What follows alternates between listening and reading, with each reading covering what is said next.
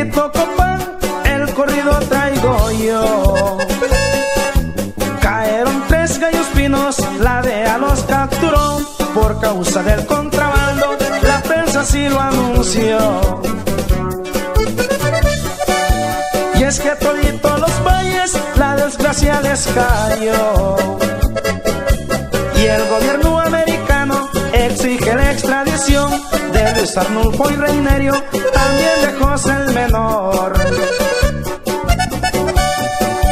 Primero cayó José, que es el hermano menor. Y un domingo en la mañana cayeron los otros dos en lo alto de la montaña. La DEA los encontró. Todo el pueblo copaneco muy triste se encuentra hoy. Porque la familia va.